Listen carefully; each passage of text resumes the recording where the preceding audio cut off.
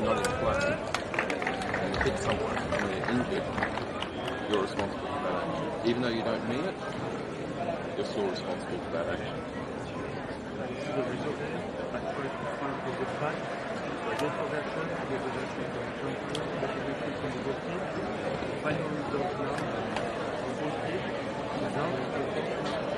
If you hit a ball and it hits someone and they're injured, then you're responsible for that action.